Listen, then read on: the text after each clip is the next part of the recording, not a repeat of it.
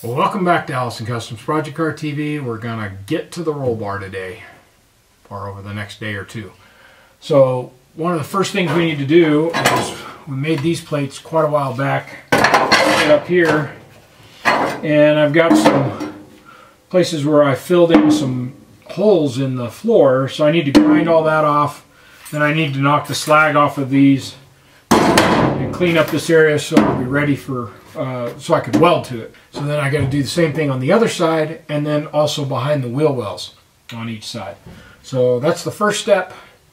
And once we've got that done and these plates sitting in place, then we can start figuring out what our measurements are going to be for the main hoop.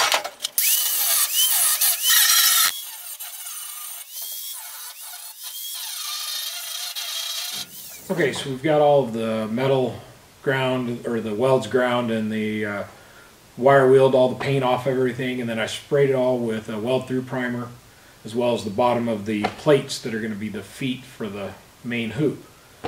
And we're to the point where we need to go ahead and design our roll bar so we can figure out how much tubing we need to get out and uh, where the bins are going to be and all that. So some of the things we need to think about are how we're going to install this roll bar and you know is it bolted together or welded in is it actually a roll bar or a show bar? Because in reality what we're about to build i keep calling it a roll bar it's really a show bar in that it is not tied directly to the frame and therefore you're kind of building this capsule of the body but the body could still be ripped from the frame and, and the whole body and, and people be ejected with it. So it you're kind of building a capsule but you're not really building a structural roll bar because it's not tied into the frame. I don't plan on going out and doing some heavy four-wheeling with this. This is more just a play around truck, go out and run some some dirt roads, maybe go up into Colorado and, you know, just some regular trails. Um, yes, you could still get yourself in trouble, but I don't plan on going out and getting myself, I don't want to get myself into a situation where I get into trouble. So the reason I, I ask those other questions is because if you're going to bolt it together, you're going to build a hoop, you're going to, maybe you're going to build a couple tubes, and then you're going to swedge them so that you can put another tube inside it, come around, come back down, same thing on the other side, and then you're going to run a bolt through here and here, and maybe you've got another one up here, and you can bolt the whole thing together and it, it, maybe it holds lights on on the bit of your pickup or something or or whatever. That is not a roll bar. It will not protect you. In fact, it's liable to be more dangerous to you in the case of, of a, uh, an actual rollover because nothing is structurally sound there. Uh, there are some bolt-in cages out there on the market. Um, uh, I think, makes one called Tiger Cage, which is bolt-in, and people rave about it, and it is supposed to be a a, a good quality uh, safety cage. So I, I don't know how it's all tied in, and I don't know what vehicles they offer it for, but I have read some different things about it, and it seems to be a really good product. We're not building that either. The other thing is, is if you're going to weld it in, which we're doing, uh, whenever you get to your, you get your main hoop, and then you got your down bars going behind the wheel wells, or maybe you've got door bars or whatever coming forward, how are you going to attach all these? Again, you could build some sleeves, you could put them, slide them in, you could bolt it together, and even if the main hoop is one still one full structure, these other pieces could bolt in, and you could conceivably get yourself a a strong cage type product that would protect you and all of it can be welded outside on a bench and then you can have little plates in here and you bolt it in through the floor and off you go. We're not building that either. Um, what we're building is as close to a cage as I can get without tying it into the frame.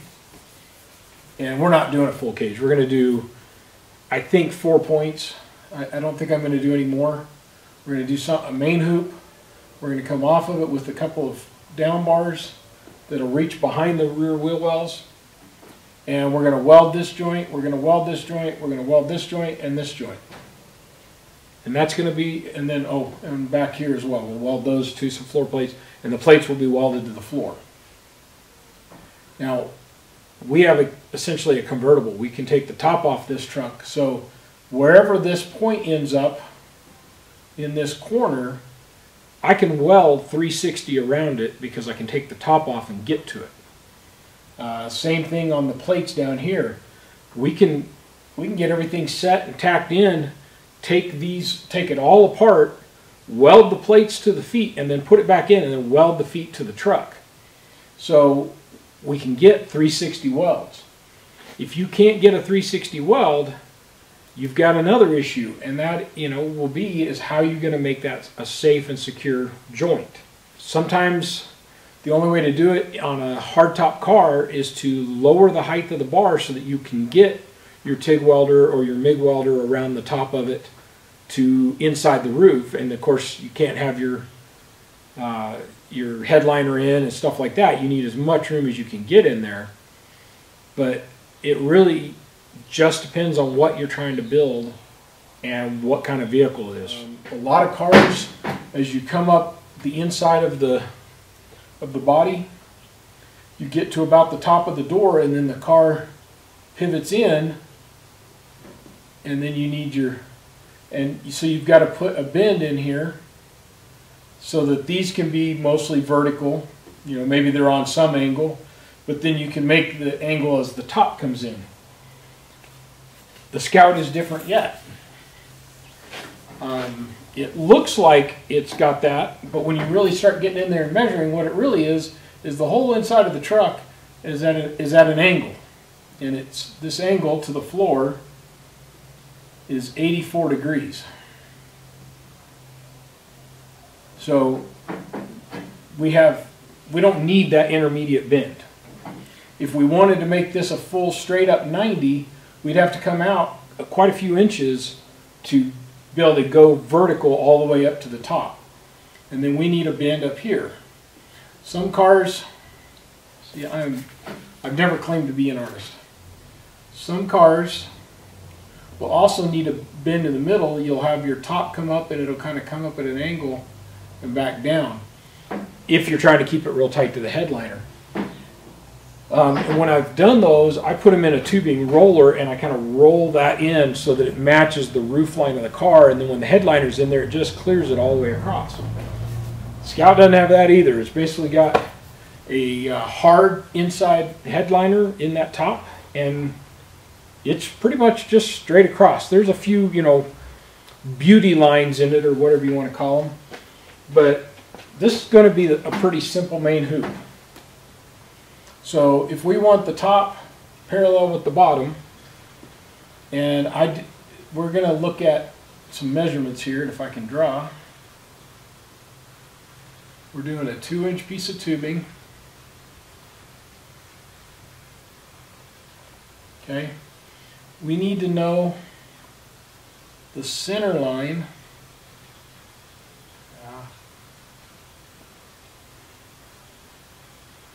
We're going to work off center lines of the tubing, and I know I didn't draw that very well. But I know that I want the top of this roll bar to this floor at, at the corners and in the middle to be 41 inches tall. So to the center line, it's 40 inches to the center line of the main of the top bar. Okay. Down here, my outside measurement, the max I could have is 59 and a quarter inches. I've got my numbers over here. I already took taken my measurements so that we could work through this. So the max, uh, it would be touching both sides, would be 59 and a quarter. Well, I'm using two inch tubing, so I need to subtract an inch for each side. So that gets me down to 57 and a quarter. And that would, that would be touching the sides. So we need to adapt that again. And what we're going to have is, you know, I want enough room that, that probably don't want to be able to put your fingers in there because then if, as things move, you know, the body shakes or, or if you were holding on to it and you did roll, your fingers would get pinched but you want enough room that it's not rubbing the, the inside paint off of it either. So we're going to subtract, um, I'm probably going to go and just do like 3 eighths of an inch off of each side. So 57 and a quarter minus two three eight, two times three eighths, that's three quarter. So we're down to a 56 and a half. And that's center line to center line. So that's going to be our measurement from this center line to this center line, which is going to give us a 58 and a half outside to outside. And I'm going to write that number down over here so that I don't lose it. So at the top, the maximum width allowable is 52 and 3 quarter. And we're the same 3 quarter that we subtracted down there, we're going to subtract that 3 quarter. So that gets us to 52. And then we need center line to center line. 2 inch tubing means the center line is 1 inch in on each side. So that's minus 2. So we're up to a 50 inch 50 inch center line to center line measurement at the top. The middle is just going to work off that angle because we're not going to put any bends in it. Um, and then we need, our, our dies are a 6 inch radius. So we're going to bend this on a 6 inch radius wherever that comes out.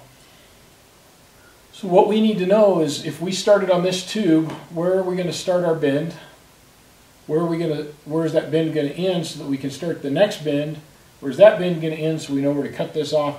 And then we're going to cut these off at that, take six degrees off that bottom plane so that it'll sit in there with the top parallel to the roof. So we're going to go over to the computer. I'm going to introduce you to a free software that's online called benditonline.com.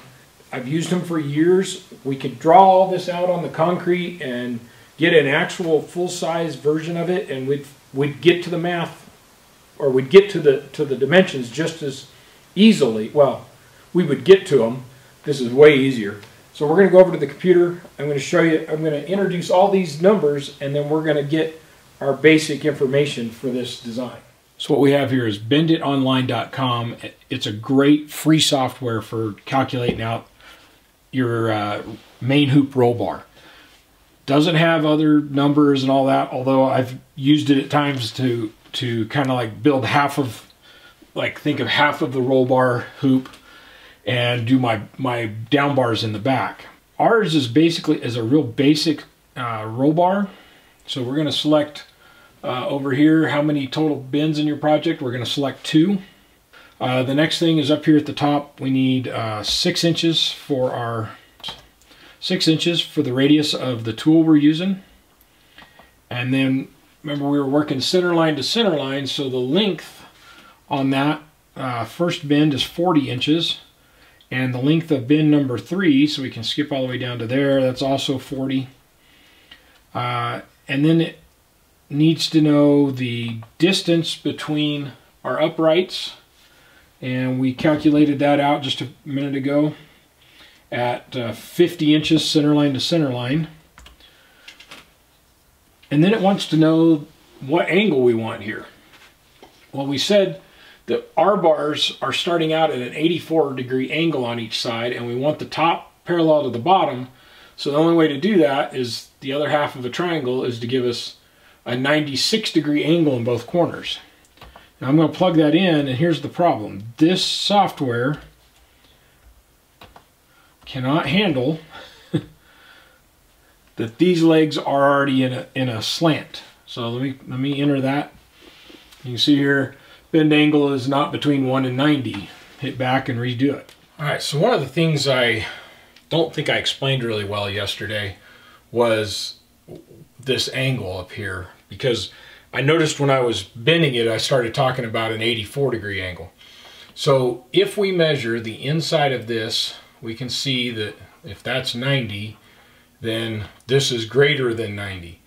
But when our tubing bender bends the tubing, it's a straight pipe, and then the die is right here, and it takes this side and slowly bends it around that die so that it goes like this. So whereas this is 96, if this was a straight pipe, this side over here is 84 because the total has to be 180.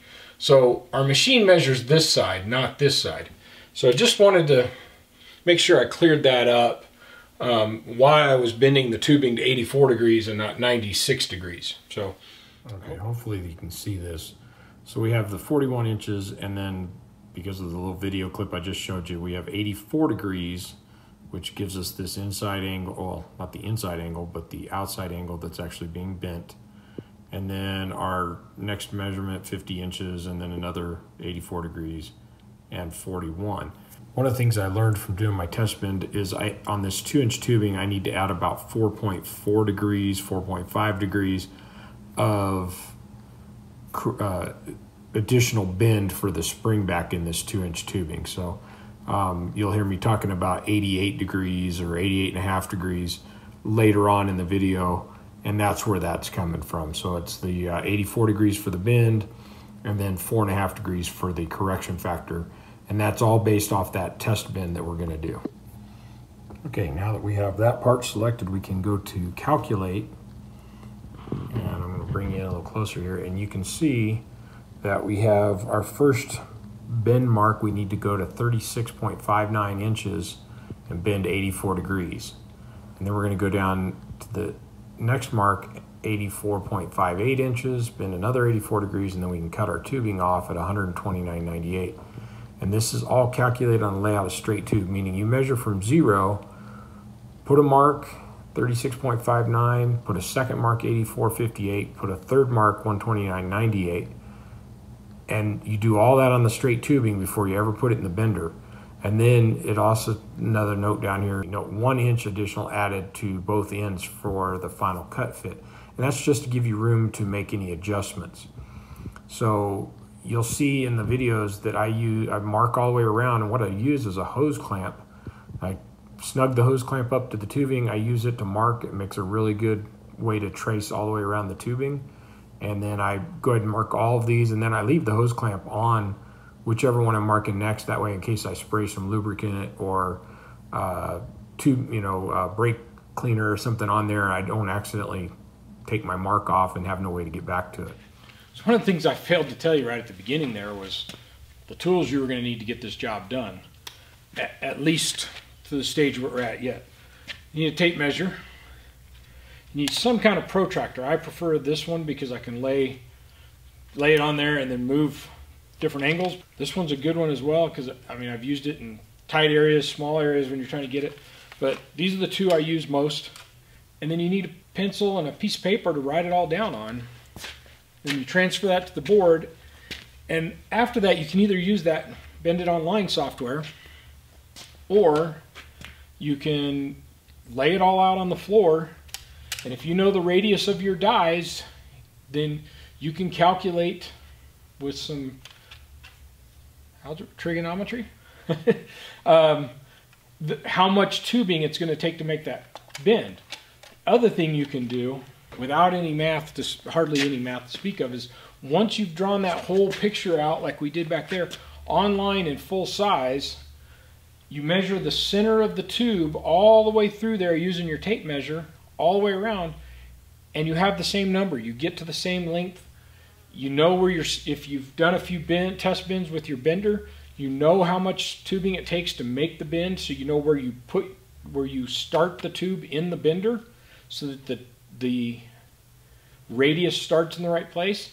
And use those bits of information, which we, we actually still need one. I mean, it tells us where to start the bend, but we need to know where the bend starts in our tubing bender to put that point in place. So that's another reason, you know, I've never bent any six or any two inch tubing in my bender. So we need to bend it to see how far we can get with these particular dies. And we need to see where the bend starts in relation to where, to some reference point so that we can, can put, put our tubing in in the right place. So that I've got the tubing down now. We're going to clean it up a little bit, get it cut, and then go ahead and, and do a couple test bends. We've got the two inch tubing loaded and it's level with the machine. Doesn't matter what angle that is as long as they're equal. And then I've got my pointer set at zero. What we're gonna do is we're gonna bend our first bend. We're gonna go about 45 degrees and I'm gonna just make another, I've got a, a mark here next to the die and I'll make another mark wherever 45 degrees ends up and I'll make a third one where we get to 90 degrees. It'll give us a pretty good idea of how much tubing we're using to come around this die. I've also laid the seam uh, straight up just so I can uh, have a reference point if I need to take any other measurements. So I want to get a measurement to the beginning of that die to the end of the tubing. So it's nine and three quarter inches from here to the end of the tubing right now. I'm gonna write that number down.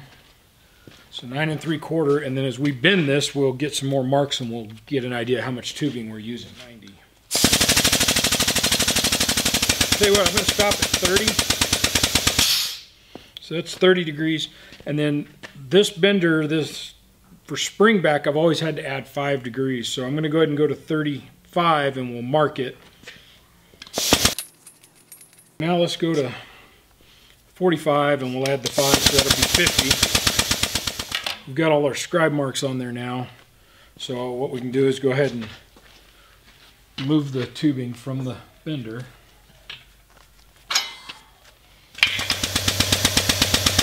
84 or 84, 86, 7, 8, 88 and a half. So we've got the first bend. Our second mark is already on the tubing down here. So we'll go ahead and release everything so we can slide the tube, which is kind of a pain in the butt because you have to get this pin out and it just, this tubing is, is catching on it and everything. So it's just kind of difficult, but anyway, so we'll release that, pull this pin, let this part swing in, and then we can try and get this pin out. All right, that freed up. Get this one out. We can pull our tubing down. I have a little clamp on here.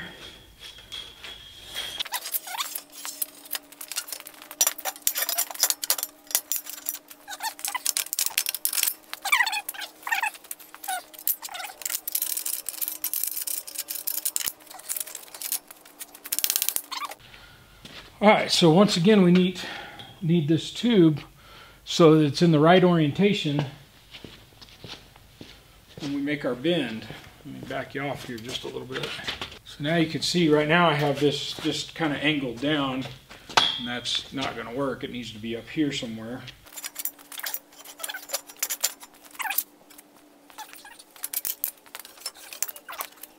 All right, we're on our line now. We're at our second measurement here at the die, and we just got to get all this level now.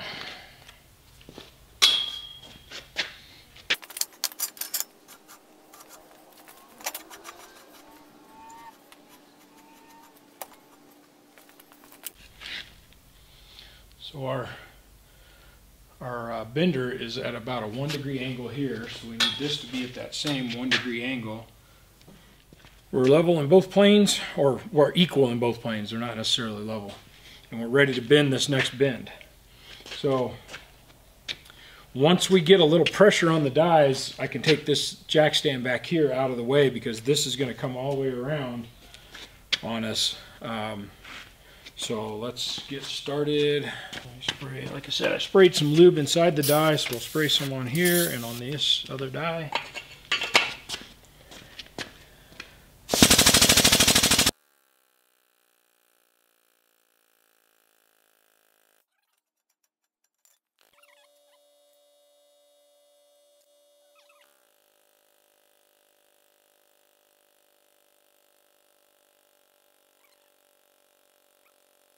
five, six, seven, eight and a half. Okay, so we're going to pull a measurement from one leg to the other here just to make sure we're there before we, you know, because we could always add another degree or something. Uh, 59 and an eighth was our max width. We're just a hair under that. So we'll want to pull it in just a little bit. We'll use a ratchet strap to do that just to squeeze it just where we have the, a nice even gap between it and the inside of the fender. So really we're, we're done. We've got a nice bend. Everything looks to be in the same plane. And we can go ahead, take this out of the bender, cut the legs to the, to the right angle, and get this tacked into the truck. All right, we've got the roll bar setting in here, sitting in here. I've got some magnets on each side. And what I've done is just set the base. Uh, you know, I picked up a place that I can measure from on both sides, which was the edge of the door jamb, and make sure that the base is exactly the same, the, or the bottom of the of the roll bar is the same distance back on both sides. And then I'm going to weld this side first, but then I lined it up with the, we'll call it the B pillar here, in the roof so that whenever the roof is on, they're in line. I couldn't get it directly behind it because it wouldn't fit with the seat, but I at least want the line to be the same. And then once this one's welded in, and I have a little spacer down here to keep it off of the body. So once this one's got probably three or four really good tacks on the base plate, then I'll come to this side, do any little bit of tweaking I need to do, and get it tacked to the base plate. The base plates right now just have a couple screws holding them down to the floor. Once there's some really good solid tacks on there, then I'll take those screws out, take the whole thing out, take it outside, weld up around. That way I get to the back sides of the weld, so or of the tubing, so that everything's welded solid. Then I can come back and put it back in. Um, I got good clearance up here. It's not touching anything. Uh, I got clearance over here to the plastic. I think it fits really well. And in my bending, I got within about um, 0.2 degrees of getting them identical, so close enough. Um, so once we get this tacked to the plates, welded to the floor, then we'll come off of this and start building our down bars to the back. So you could do this a couple ways. You could just get everything really well tacked in, build the down bars, and then take the top off, lift the thing out, weld it all up and put it back in. And that would absolutely work. I just really don't want to be taking the top off anytime soon, or at least not until the bottom is undercoated and then set on the frame, so that I keep it as rigid as I can. For that reason, I'm going to go ahead and weld up the base plates solid and weld them to the floor. Then on the back, I'll do the same thing. I'll weld the base, I'll, I'll tack it in, get it all tacked to the roof up here or to the upper bar up here. Um, and then I'll weld in as much as I can, knowing that I don't have to worry about getting to the back side of some of these welds because the top is eventually going to come off and then we'll paint the roll bar from there.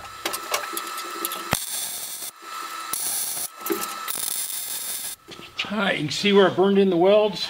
So I'm going to go ahead and weld that foot to the bar and it's freestanding now. So um, I've got the strap on there so that I could squeeze it a little bit to make it easier to get it out of the truck and to put it back in. So knock this out real quick and then put it back in the truck, weld it to the floor. So you can see I've got it welded to the plate. The plate's back in with a screw or two in it to hold it to the floor nice and tight. Same on this side. And I've verified that the bars are still parallel to the windows. Might get, because of the angle, it might not look quite right, but that, that bar and the B pillar are about as close to perfectly parallel as I, at least as I can make it. And that's looking from the outside. Uh, same on this one over here. So I, I got that one in, happy with it, and then I tweaked this one to get it exactly where I wanted it. So now that those are done, we'll go ahead and stitch weld the plate to the floor, and then I'll not do the rosettes just yet. That way when I put the plate from underneath in, I can burn pretty hot down into that uh, hole and try and get a good weld in, through the sheet metal and into the other plate as well.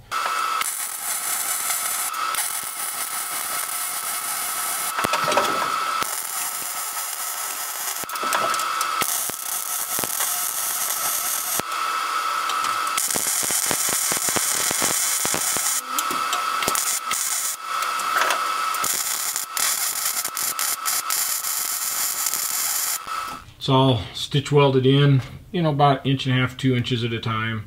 If I was going around a corner, I'd kind of start and maybe do three quarters of an inch each way. And uh, then I'll weld in those rosettes, like I said, when I have the bottom plate already in place. So, so it's pretty, pretty sturdy now. Um, and if we were just wanting a show bar, it'd be enough. But we're gonna do go ahead and do a uh, down bar, I keep calling it.